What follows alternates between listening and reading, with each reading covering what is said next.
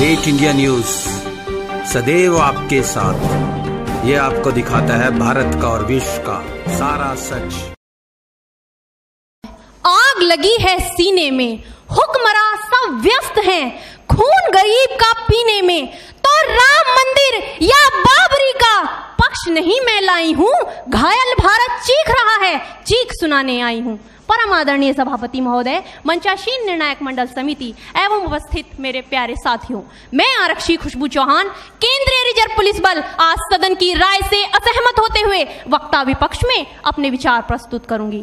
महोदय, दर्द हद से तब गुजरने लगता है जब मेरी आँखों के सामने ताज, पुलवामा में शहीद हुए जवानों के शत विशत अधजले शरीर के टुकड़े, रेत के टीलों से ऊपर जाती लाशों के ढेर और कश्मीर की खून से सनी लाल रंग की सड़कों के दृश्य सामने आते हैं।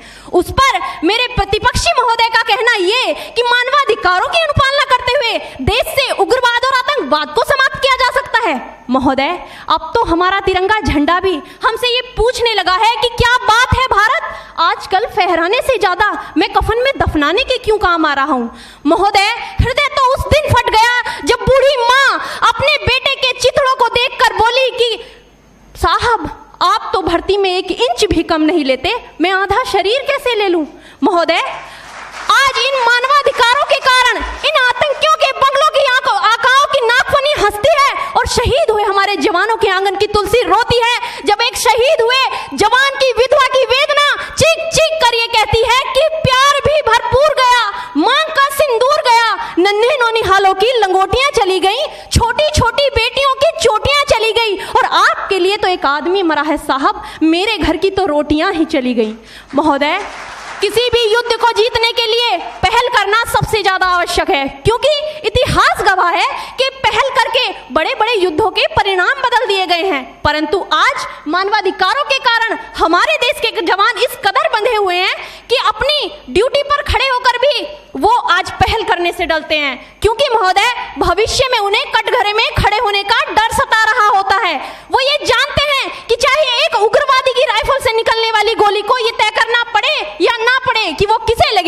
लेकिन हमारी राइफल से निकलने वाली हर गोली को ये निर्णय लेना पड़ता है कि चाहे वो किसी निर्दोष को लगे, दोषी को लगे या ना लगे, परंतु किसी निर्दोष को नहीं लगनी चाहिए। यदि ऐसा हुआ तो ना तो ये समाज हमें छोड़ेगा, ना ही तिल का ताड़ बनाने वाली ये मीडिया हमें छोड़ेगी। और महोदय, मानवाधिकार के तले किसी जवान को दबाकर युद्ध के मैदान में छोड़ देना, कोई वीरता नहीं, एक आत्महत्या है। क्योंकि महोदय, फूल को श्रृंगार दो ये मुमकिन नहीं और एक वीर को झनकार दो नहीं, जो हाथ बाँध दे सेना के, ऐसे मानवाधिकार का पालन संभव नहीं। महोदय, आज सत्यनिष्ठा के मार्ग पर चलते हुए भी हमारे देश का जवान इन आतंकवादियों, इन पत्थरबाजों से डरता है, क्योंकि वो जानता है कि उसकी राइफल से निकलने वाली गोली अगर टारगेट को हिट नहीं भी करेगी तो भी 400 मीटर तक जाएगी और यदि इस बीच निर्दोष को लग गई तो महोदय, हमें अपनी नौकरी से हाथ तक धोना पड़ सकता है। और महोदय, अपनी नौकरी को बचाने की खातिर एक जवान आज ये सोचता है कि चाहे सांप मरे या ना मरे, परंतु लाठी नहीं टूटनी चाहिए, क्योंकि आज हमारे देश के हालात कुछ ऐसे हो गए हैं कि चिरागों को हवाओं में उछाला जा रहा है, हवाओं पर भी रोब डाला जा रहा है। अरे, हम ही तो बुनियाद है आंतरिक सुरक्षा की, और आज हमें ही नौकरी से निकाला जा रहा है। महोदय, जब पुलवामा में चवालीस जवान शहीद हुए छत्तीसगढ़ में छिहत्तर जवान शहीद हुए तो कोई भी मानवाधिकार की दुहाई देने वाला हमारे पक्ष में आकर खड़ा नहीं हुआ।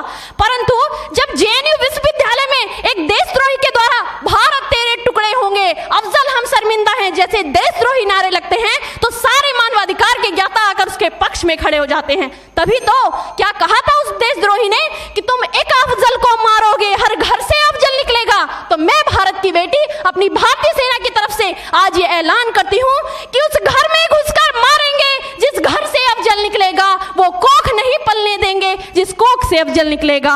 उठो देश के वीर जवानों, तुम सिंह बनकर दहाड़ दो, और एक तिरंगा झंडा उस कन्हैया के सीने में गाड़ दो। महोदय, अंत में अपनी वाणी को विराम की ओर ले जाते हुए मैं सिर्फ़ इतना ही कहना चाहूँगी कि मुझे अफसोस है, अपने देश की न्यायिक प्रक्रिया पर जहाँ आज भी रात के 12 बजे अजमल कसाब जैसे आतंकी के लिए सर्वोच्च न्यायालय के दरवाजे खोल दिए जाते हैं। ऐसे देश से मानवाधिकारों की अनुपालना करते हुए आतंकवाद और उग्रवाद से कभी नहीं निपटा जा सकता। मानवाधिकार के नाम की दुहाइयाँ देने वालों, सीमा पर लड़ा नहीं जाता।